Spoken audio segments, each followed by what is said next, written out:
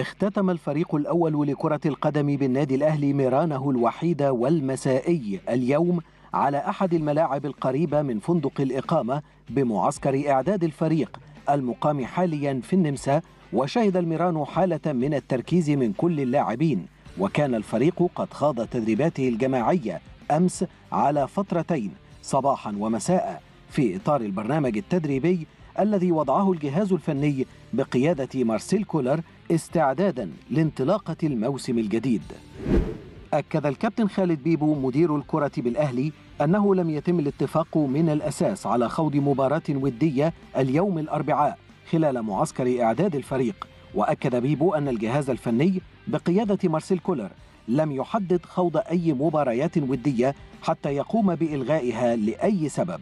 وأوضح مدير الكرة أن الاتفاق حتى الآن هو خوض مباراة ودية واحدة يوم الخامس من سبتمبر وقبل نهاية معسكر إعداد الفريق المقام حاليا في النمسا. أكد محمد مجدي أفشى لاعب الأهلي أنه لم يتردد لحظة واحدة في توقيع عقود التجديد للنادي على بياض. مؤكدا أنه يسعى لتحقيق المزيد من الألقاب مع الفريق خلال الفترة المقبلة. وقال أفشى وافقت على تجديد عقدي مع الأهلي فورا ولم أتردد لحظة لأن تفكير النادي في تجديد عقدي شرف كبير وأسعدني للغاية ولم تكن لي أي شروط على الإطلاق. توجه أكرم توفيق وكريم فؤاد لاعبا الأهلي صباح اليوم الأربعاء إلى أحد المراكز لإجراء الفحص الطبي لدى الخبير النمساوي كريستيان فينك الذي قام بإجراء الجراحة لهما في وقت سابق. ويخضع أكرم توفيق وكريم فؤاد للفحص الطبي للاطمئنان على حالتهما بعدما نفذ الثنائي برنامجا علاجيا وتأهيليا طوال الفترة الماضية للتعافي من الإصابة التي لحقت بهما في الموسم الماضي وكانت عبارة عن قطع في الرباط الصليبي. كشف الدكتور إيهاب علي استشاري التغذية لفريق الأهلي عن البرنامج الغذائي للاعبي الفريق خلال الفترة الحالية التي يخوض خلالها الفريق معسكر الإعداد بالنمسا استعدادا للموسم الجديد. وقال الدكتور إيهاب علي قمنا بعمل قياسات بدنية جديدة للاعبين بعد عودتهم من الإجازة وهي مختلفة عن القياسات التي قمنا بعملها في نهاية الموسم الماضي.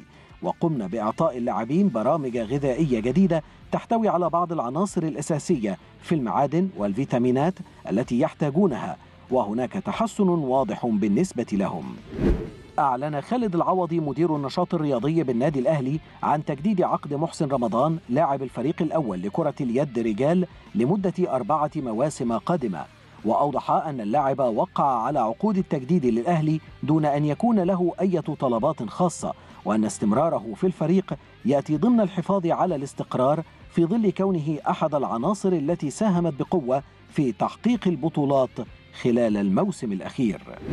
كشف رودي جاليتي صحفي شبكة سكاي سبورتس الأربعاء أن وفدا من جانب نادي اتحاد جدة غادر إلى إنجلترا في محاولة لإتمام صفقة انتقال النجم المصري محمد صلاح لاعب ليفربول. وأضاف من المتوقع زيادة العرض المالي الذي تم إرساله كمحاولة لإقناع ليفربول بالبيع حيث كان العرض السابق أكثر من 100 مليون دولار.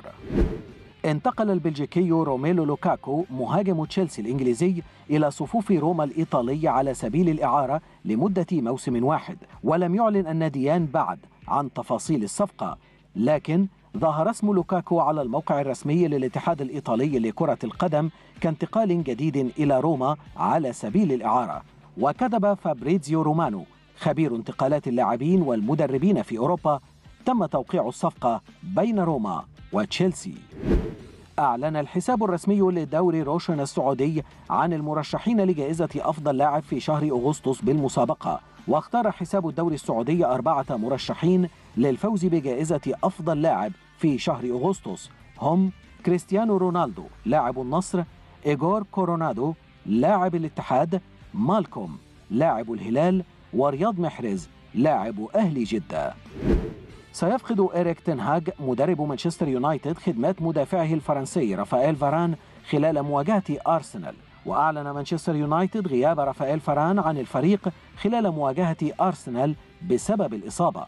وأصيب فاران في الشوط الأول من مواجهة يونايتد ونوتنغهام فورست التي أقيمت السبت الماضي في ثالث جولات الدوري الإنجليزي وانتهت بفوز الشياطين الحمر بثلاثة أهداف.